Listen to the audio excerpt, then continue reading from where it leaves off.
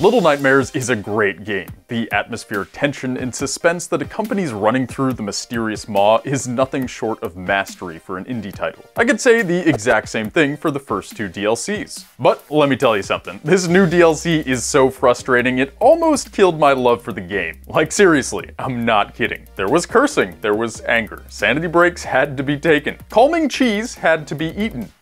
Yes, e eating cheese calms me. Don't judge. It was that kind of rage-inducing gameplay. And before I go on a gnome-induced tirade, yes, we are going to get into the new lore and information that was presented to us in this DLC. But I feel it's necessary to give some insight on the playability of the update before we jump into the lore, because they are connected in more ways than one. Oh, and as always with anything new that just came out that we also happen to cover, spoilers will be thrust asunder. I'm not entirely sure what thrust asunder means, but um, um hit it! I the gameplay for this DLC was nothing short of pure frustration. The controls for Little Nightmares have always been a bit wonky, but the puzzle solving and progression of the game has always been more or less linear, making it easy enough to stay on track. Meanwhile, the Hideaway DLC is over here deciding to go all emo and stubborn. I don't need to conform to your linear gameplay. That's what the man wants. Fucking conformists. This update is the black swan of the Little Nightmare franchise. It's the South Park goth kid of the indie horror genre. Since since the game isn't linear this time, it was confusing as to whether or not you were in the right place doing the right thing. The puzzles were complicated in a way that isn't fun or challenging, but confusing. What makes a puzzle good and challenging is when you know where you are and what you're trying to achieve. Think about a word search, or a Sudoku, or even a maze. The answer is right in front of you. You know exactly what you're trying to do. And the fun comes from solving the puzzle. Portal is a great example of puzzle gameplay perfected. You could always see your end destination destination, and it was up to you and your brainium to figure out how to get there. But the puzzles in this DLC weren't designed in ways that give you that satisfaction. They were designed to give you hemorrhoids. Instead of being at point A and trying to get to point B, you're at point A and don't even know where point B is or what it looks like. The perfect example is this monstrosity of a section where you gotta sneak past the janitor to get to the next room. Once you're in the next room, Mr. Noodle Arms is going to come and get you, and you have no clue where the hell to go.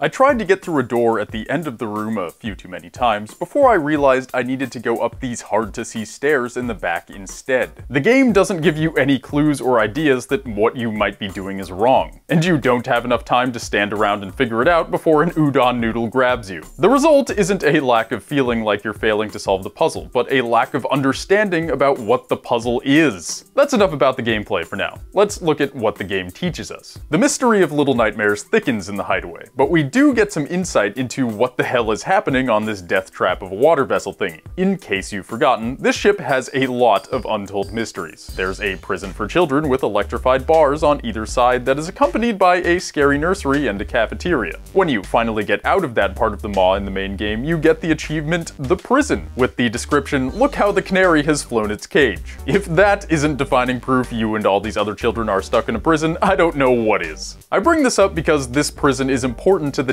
DLC's story. When we were first playing Little Nightmares, we only had guesses as to why these children were being imprisoned. But now we have some solid, concrete answers with this third DLC. So let's dive into this update of the game, and I'll, I'll try not to ruin the experience with my opinion of how the DLC plays. First off, let's take a trip down memory lane in terms of Little Nightmares. The story thus far has revolved around a little girl named Six and a boy who is called the Runaway Kid. Just so I don't go tone deaf saying the Runaway Kid over and over, let's call him RK. Last time we hung out with this kid of poor hair design, he had been trapped by the blind inflatable tube man janitor. Our story continues with RK being ransacked into, uh, well, a, a sack, and hoisted onto one of those moving hooks we see in the main game. As the hook continues to move, it looks like RK's sack was either cut before he was put in, or he was able to cut it from the inside. Either way, he falls out of the bag and down to the ground on a pile of coal, where he is surrounded by curious gnomes. The gnomes gnomes play a large part in this DLC, and induced the first known instance of gnome rage, an anger created by gnomes being assholes and not helping you when you want them to. For you see, this DLC is the gnome DLC. Every puzzle, every obstacle, everything you must do must be done with a gnome at your side. Don't have a gnome? Well golly, do I have a surprise for you. Just check any turned over drawer or filing cabinet and you're sure to find at least one gnome friend for all your gnomey needs. And I don't know about you, but I named every gnome I worked with. There was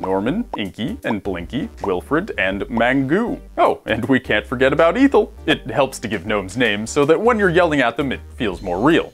Yes, I, I do have gnome anger issues now.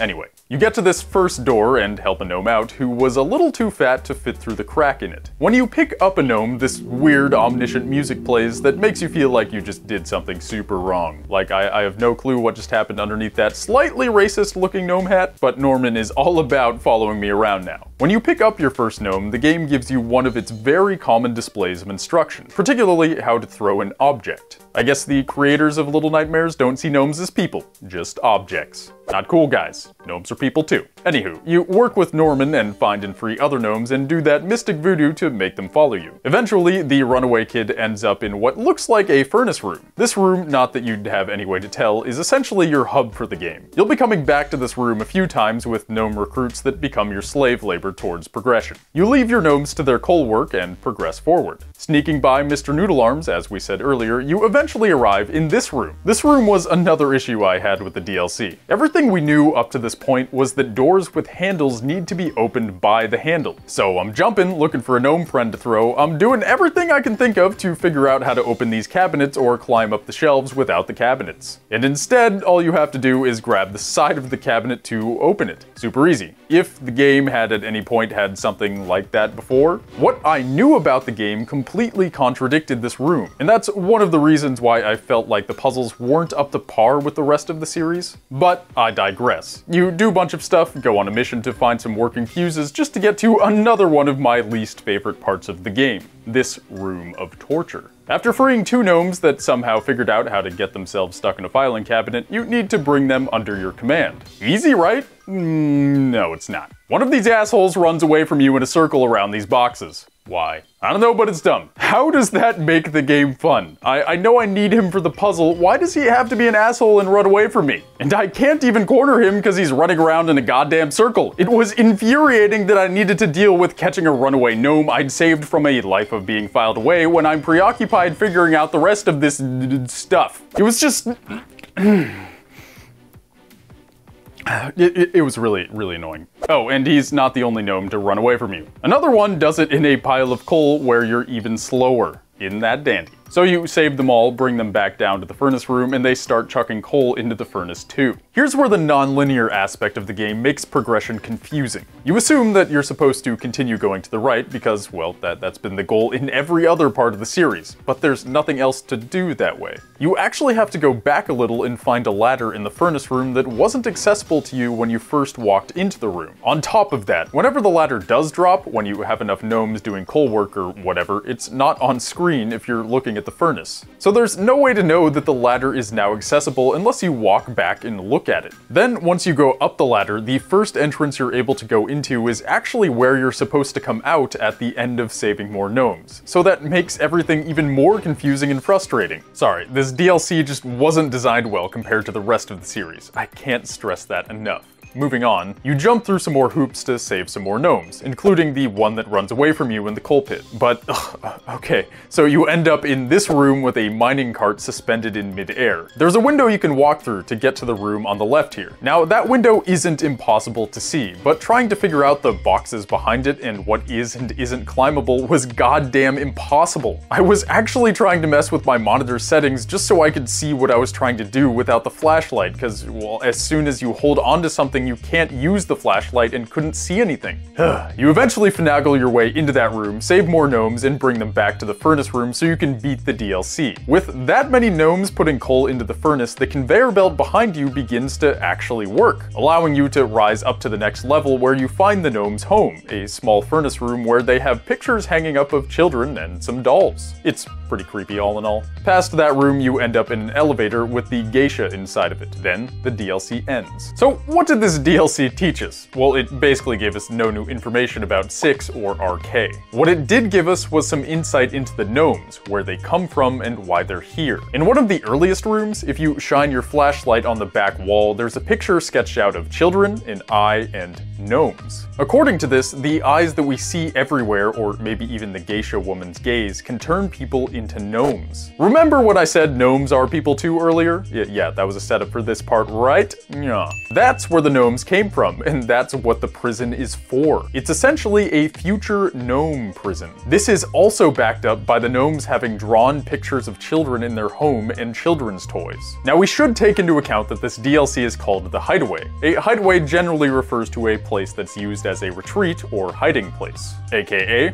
where the gnomes live. These are the gnomes that have survived. Think about what's happened to RK. He began in a sack being taken up to the kitchens. As we've seen from the main game with 6, those sacks stop there. Those children most likely are turned into gnomes and then eaten. But some gnomes have escaped, and they hide in that upper level furnace room for safety. Probably scared out of their minds and only going out in search of food. Who knows, they may even have to move from place to place to make sure they aren't found. That would be very nomadic of them. Oh, I, I, need to stop watching Game Theory. It's ruining my humor and turning me to puns. I'm, I'm sorry. I'll I'll try better. What this DLC shows us is that the story isn't even close to over. RK's journey so far is only just the beginning, and we'll definitely see another update featuring him in the future. In all honesty, this update didn't advance the plot at all. All it did was fill in the plot holes about where the gnomes came from. However, we still don't know why these children are being turned into gnomes and then eaten, or why this insane geisha is running this crazy operation at all. Of course, we do have some theories, but we've already talked about them in this video and this video. Are they there? I don't know. So if you have any questions, I'd recommend checking those out. And if you're still confused and have some questions for us, I'd recommend checking out our Discord or our Patreon, where you can ask us questions and talk to us directly. That's all for me today, guys. This update was great for certain parts of the lore, but uh, as for the gameplay, um, I think I need to spend some time in the fetal position. So I'll talk to y'all later. Bye, everyone.